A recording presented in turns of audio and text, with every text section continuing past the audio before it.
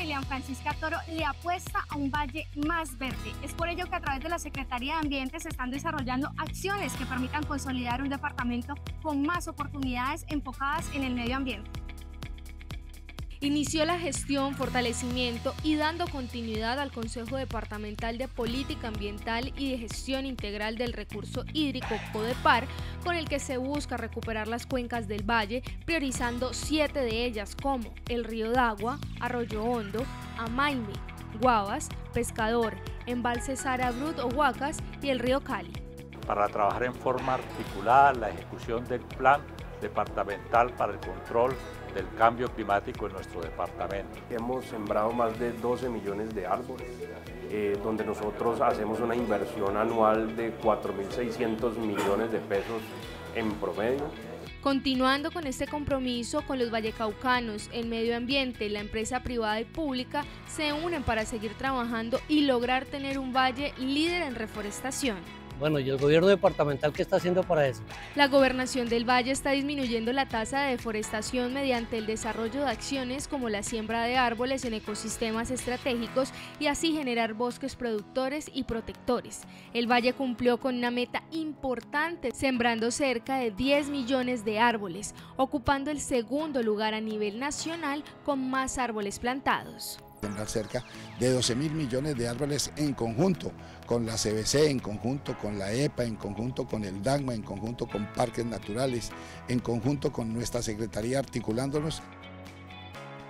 El director de la CBC va a trabajar en crear un bosque urbano por municipio, porque tenemos déficit de árboles de acuerdo al número de habitantes. Entonces vamos a hacer bosques urbanos.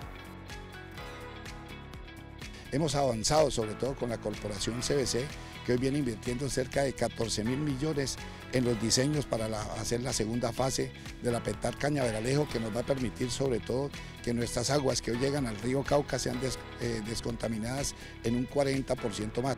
La fuente hídrica es muy importante para lograr una región más verde un valle del Cauca que cuida el medio ambiente. Es por ello que la gobernación invierte en la conservación de áreas abastecedoras de acueductos mediante pagos por servicios ambientales. Los municipios que hacen parte de los pagos por servicios ambientales son aquellos ríos que tributan hoy al río Cauca. Ejemplo, tenemos el río Jamundí, el río Yumbo, el río Amaime, el río Guacarí, el río Tuluá, los primeros 15 ríos que vamos a atender sobre todo en la construcción de un esquema que nos permitan a estos municipios de esos ingresos que reciben, que es el 1% de libre inversión. Es así como la gobernación del Valle trabaja por la recuperación, protección y conservación del medio ambiente de la región, cuidando la diversidad territorial. En el 2024 le apuesta por un valle más verde. Los animales también son importantes para la región. Es por ello que se creó la Ruta de Protección y Bienestar Animal, destacando lo valiosos que son en el valle, siendo parte de los ítems de la Política Pública de Protección Animal aprobada en el 2023. ¿Y qué es la Ruta de Protección y Bienestar Animal? En esta ruta lo que queremos hacer es que converjan las instituciones establecidas para el tema de maltrato animal, es decir, las inspecciones de policía, la policía ambiental, la fiscalía y por supuesto eh, los centros de bienestar o las fundaciones que nos puedan aportar en este tema.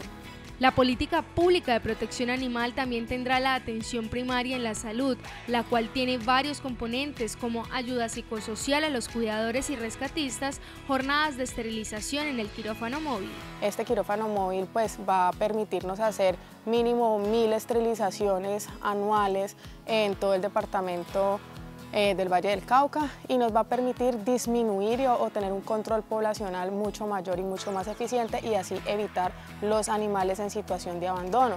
Este programa se desarrollará en todo el Valle del Cauca e iniciará en Restrepo, Buenaventura y Dagua, siendo los municipios que requieren un control mayor, pues se presentan muchos animales en situación de calle. Para nadie es un secreto que el fenómeno del niño ha afectado hasta a los animales.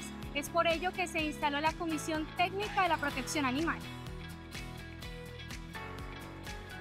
creamos desde la Secretaría de Gestión del Riesgo la Comisión Permanente Asesora de Protección Animal, tratándose del tema que hoy nos atañe, que es el fenómeno del niño e incendios forestales, con el ánimo de también eh, atender ante estas emergencias a estos seres sintientes que tanto lo necesitan. También se apuesta que el departamento sea más verde, con energías renovables, pues estas son las grandes apuestas de los gobiernos y el Valle del Cauca no se queda atrás. Es por ello que la gobernadora Ilian Francisca Toro le apuesta a la construcción de una hidroeléctrica para la producción de exportación de hidrógeno verde en el departamento con la inversión extranjera. Sumitomo, que es una gran empresa de Japón, y quieren localizar en Buenaventura una planta de hidrógeno verde que es fundamental para la descarbonización de nuestro departamento, para hacer de este Valle del Cauca un valle verde, el Valle ha venido avanzando en energía renovable con paneles solares, vehículos eléctricos y ahora hidrógeno verde. Es una de las alternativas de tránsito de energía. Estas son algunas de las acciones que se están desarrollando en el departamento, apostándole un valle más verde, más renovado, siendo uno de los líderes en reforestación y listos para mostrarle al mundo que es una de las regiones con mayor diversidad y que tiene la responsabilidad de cuidarla y protegerla.